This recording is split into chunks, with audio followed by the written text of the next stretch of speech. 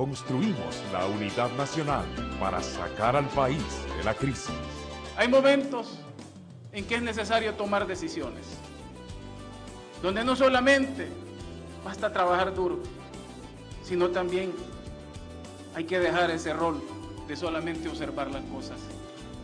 Y es por eso que hemos tomado la decisión de inscribirnos en el único partido democrático que hay en este país, que es el FMLN. Porque a El Salvador lo salvamos entre todos. Nace la esperanza, viene el cambio. FMLN.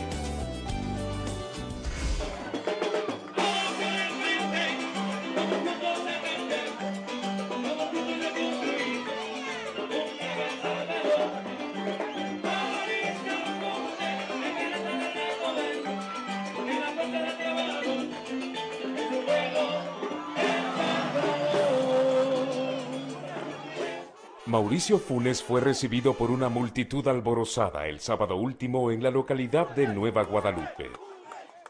En un hecho inédito, miles de vecinos salieron de sus casas para saludar al candidato, estrecharse en abrazos con él y ofrecerle el apoyo.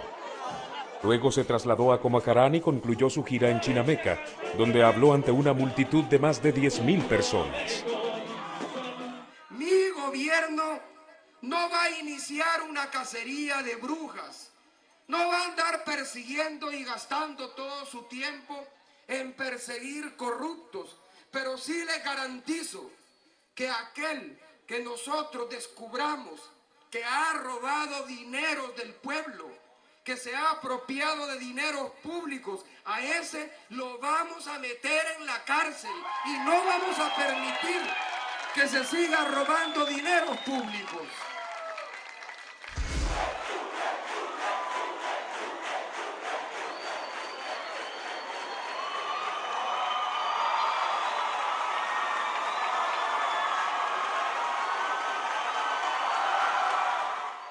El martes 7, Mauricio Funes disertó en el auditorium de la UCA acerca del Estado de Derecho.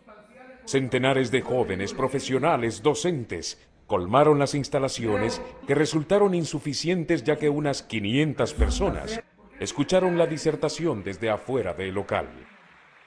En nuestro país la diferencia entre principios, derechos y garantías proclamados constitucionalmente y la realidad cotidiana es un hecho y llega a extremos.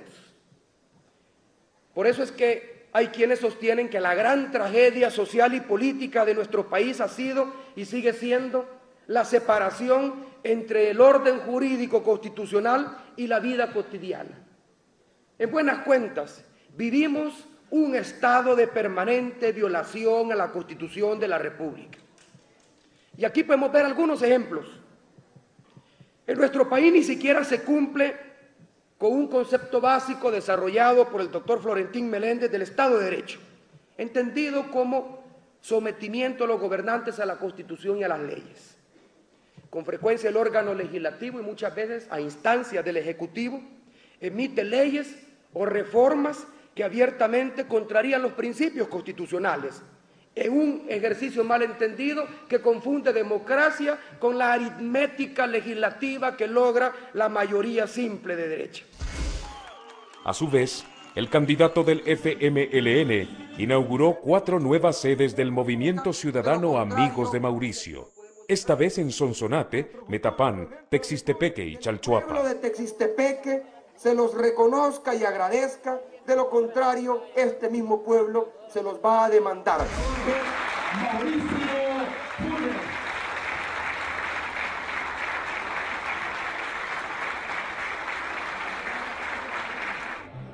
Y en un acto sin precedentes en la historia política de El Salvador, el FMLN presentó el viernes 10 a 125 candidatos y candidatas a sendas alcaldías y unos 1.300 aspirantes a concejalías mujeres y hombres provenientes de diversos pensamientos políticos y de la ciudadanía independiente se sumaron de tal modo a la amplia convocatoria del FMLN a la unidad nacional para sacar al país de la crisis en que lo ha sumido el gobierno de Arena. El gobierno de unidad nacional que formaremos al asumir la conducción del Estado tendrá un conjunto de acuerdos básicos que propondremos al país y a todos los sectores. Y estos acuerdos tienen que ver con la modernización y democratización de la vida económica, social, política y cultural de nuestro país. Lucha frontal contra la pobreza, combate al alto costo de la vida, generación de trabajo decente y de salarios dignos, apoyo y protección a los sectores más vulnerables del país, como son los niños y los adultos mayores, puesta en práctica de una estrategia nacional de desarrollo que nos permita lograr un crecimiento económico con equidad, una apuesta mayor a la salud y a la educación, mayor inversión en ciencia y tecnología, funcionamiento pleno e independiente de los poderes del Estado, seguridad jurídica para inversores locales e internacionales que ayuden a sacar al país de la parálisis productiva en que se encuentra. Construimos la unidad nacional para sacar al país de la crisis.